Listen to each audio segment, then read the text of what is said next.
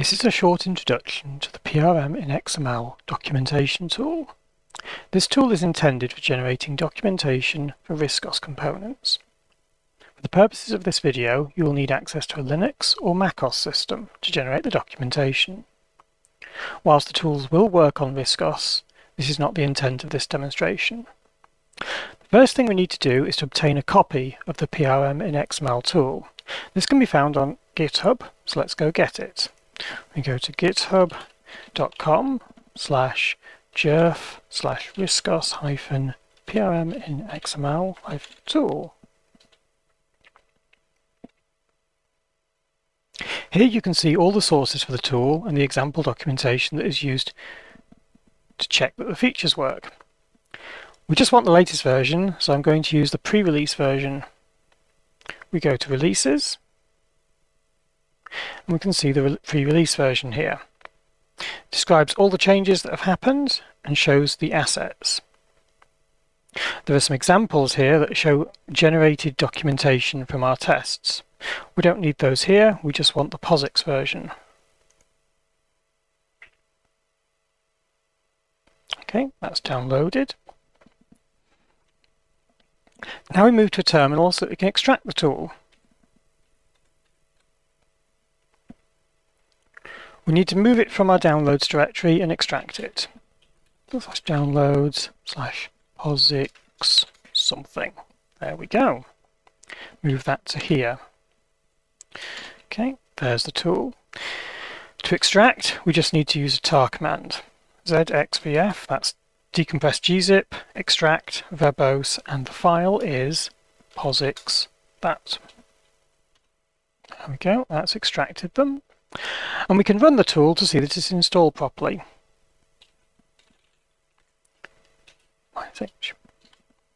There we go, that's help information. There are quite a few options and some help text to work with the tool. Fuller documentation can be found in the docs directory in the supplied resources. If we scroll up to the help messages, you can see the many options that we have. There are also some example command lines here to show how to use it.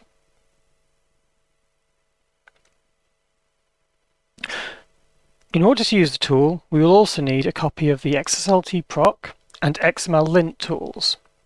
If you're running on macOS, these will already be installed. If you're running on Ubuntu Linux or other um, Linux-based systems, you can install them. For, Linux, for Ubuntu, it will be a command something like this. XSLT proc libxml2. I'm running on macOS, so I don't need to do that. You could install the RISCOS PRM in XML tool in your path. You just need to copy it along with the resource directory and it will work just fine. Having obtained the tool, we can now create a new document. For simplicity, I'm going to document a single SWI call. Usually you'd be documenting more than that, but you should find it relatively easy to expand from there. The first thing to do is to create a new skeleton document. Starting from a skeleton is a lot easier than creating a document from scratch. So to do that, we do riscos prm nsf skeleton skeleton minus o my SWI xml. That's the name of the file we're going to create. And so we can now see that we've created a new file and it has, it has in it examples you can change to create your own documentation. It also shows you a command which can be used to create the HTML documentation. So let's load up the file and see what we have. Here's the file. And you can see there's a whole bunch of um, skeleton information that describes what you can do and how it should be used. I'm going to skim through the sections that we're not interested in, deleting them as I go. There are only a few that we need to edit for this demonstration. Feel free to examine the others and change them at your leisure. The first thing we need to include is the chapter title. As I'm only documenting the SWI OS write 0, I'm going to give it the title Writing Messages. So here we go, let's update the title, Writing Messages. Normally you'd name the title after the module or the functionality that you're describing. There's usually an introduction in the chapter which includes some words about the module or the area that is being documented. I'll just write an example sentence here and you can probably explain more in a real document. So, in RISCOS, you can print messages with a diff with different SWIs. Os SWI os write 0 is one example. That's good enough. We don't need any of these subsections, so I can go and delete those. Usually you'd expand on things with subsections to describe more information about what you're documenting. There are also some other sections that are documenting things here. We don't need these, so I can delete them. So I'm going to delete the overview, the terminology, technical details, and here we have some VDU codes. So this is one of the VDU codes is one of the sections that describes definitions, um, and that describes the different major parts of the operating system's interfaces. We don't need the VDU codes, and here we have system variables. And we don't need that, and we don't need service calls. There we go. And now we've got SWI calls.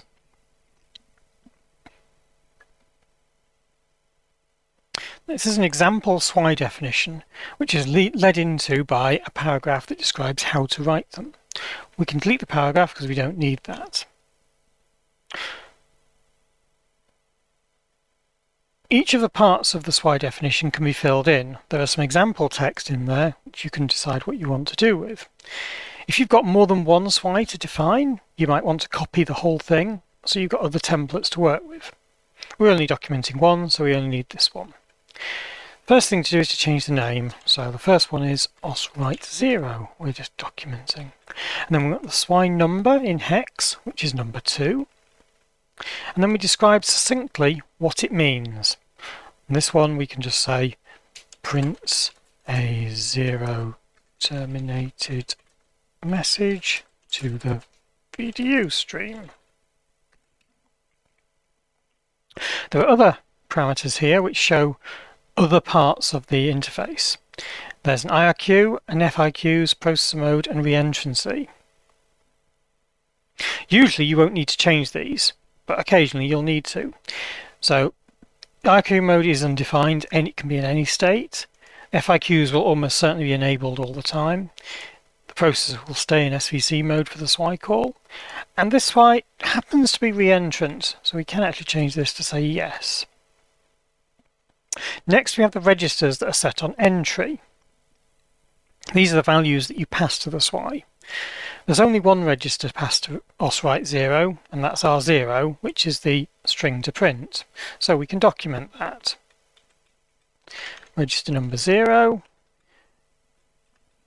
and that is pointer pointer to zero terminated string to write. The register and exit are just as important. OSWrite0 returns a pointer to the byte after the terminator. But there's also a table here. We don't need the table. That would be used if you wanted to describe more information about the different types of return values or the parameters that were being passed.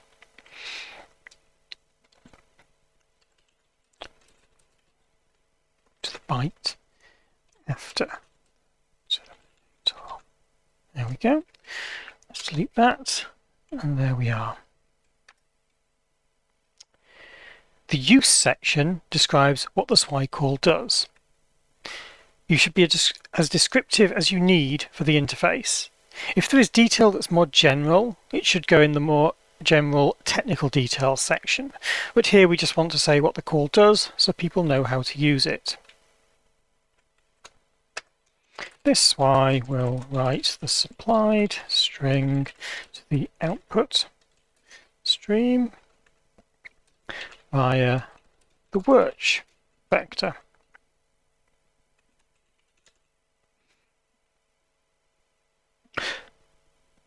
Sometimes interfaces will need to be extended, or bugs might be fixed. The compatibility section allows these changes to be described, together with what version of the system or the module that they apply to. We don't need it here for this interface, so let's delete it. If you have other SWI calls that need documenting, you might include references to them in the related section. We don't have them here, so we will skip this. However, we could have included a reference to the Wrch vector, as it has been referenced here.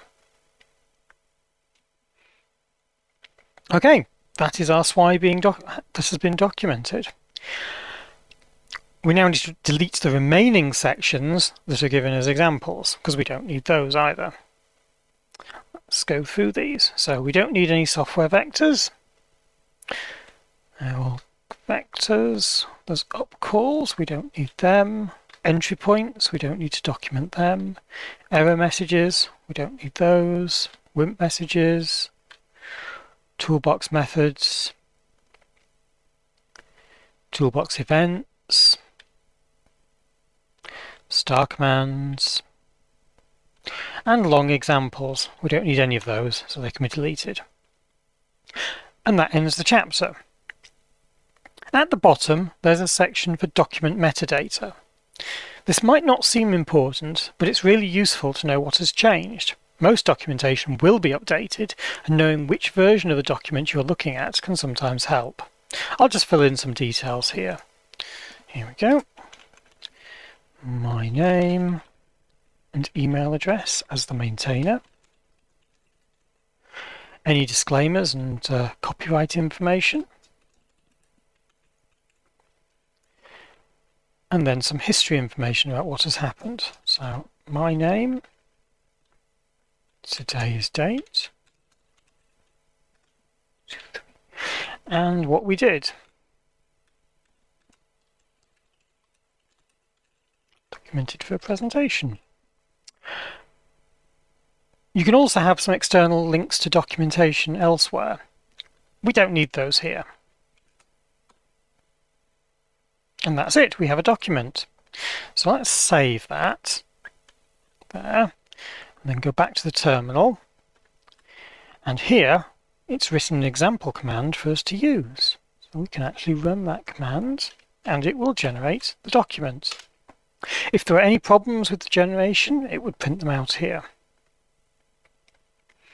Okay, we have a look. We can see that it has generated a HTML file as well. There we are. And we can now open it into the browser. So I'm going to open it into the browser I'm using for the demonstration. SWI.html. Here we go. And there we are. We now have a HTML document which includes all the content that we've described together with a content section here that lets you jump to each of the parts of the document. If I scroll down you can see the SWI details are all present and the metadata here appears at the bottom. And it's all in the same style that the standard Programmer's Reference Manuals use. There are lots of different ways that you can use the documentation system. Uh, you don't have to use the same sections that the standard PRMs used, uh, but the skeleton gives you the general usage and how, how the um, main documents were um, structured. There are additional examples available. If you want to find them, you can go to GitHub and you can look, use the topic PRM in XML. So if we go to github.com slash topics, PRM in XML will take you to that topic. And these are just grouped together. So we've got some examples from icon borders, some specific examples, the tool itself, and then the staging area, which includes a number of documents and functional specs which have been um, converted to PRM in XML format. I hope this helps you produce some useful documentation. Thank you for listening.